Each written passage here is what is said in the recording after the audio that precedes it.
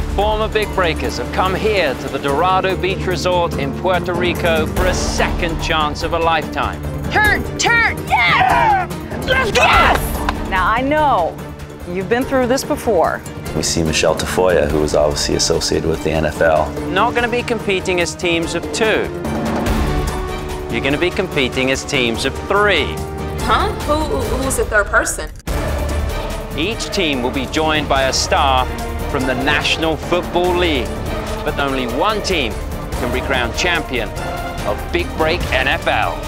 Holy balls of fire. I did not see this coming. What a twist, huh? Ah! NFLers, this is great. He is the NFL's all-time leading receiver in yardage and touchdowns. Hall of Famer Jerry Rice. Jerry!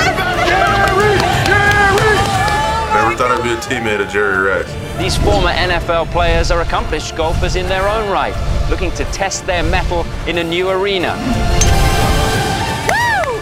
Nice! Beat that. I have a Heisman Trophy winner on my team. Not thinking about winning. Why waste your time?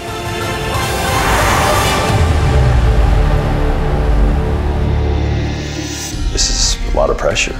Stay there, stay there, stay there, stay there, stay there. Losses are unacceptable, and I hate to lose more than I like to win. The fact that we're winning and losing as a team is kind of scary. God! Uh-oh. My fault. God. Can't win big break day one, but you surely can't screw it up, that's for sure. She's starting to feel the pressure. She is struggling. Like, it's not just me that I'm letting down, I'm letting you down. I knew what it felt to win a Super Bowl, and I lost one. I pretty much learned more from losing than from when I won. If you're going to get one chance, you better make the most of it. Oh, it's gone in! Yes, baby! Oh Be good. Be good. This is what you want, make it happen. I want you to go. Chris, Go.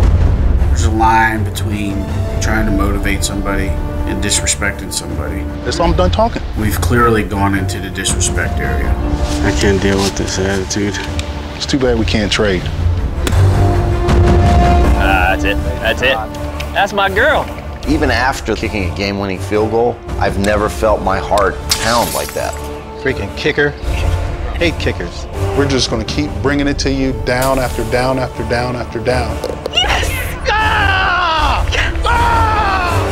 Either we fight as a team, Go! or we will die as individuals.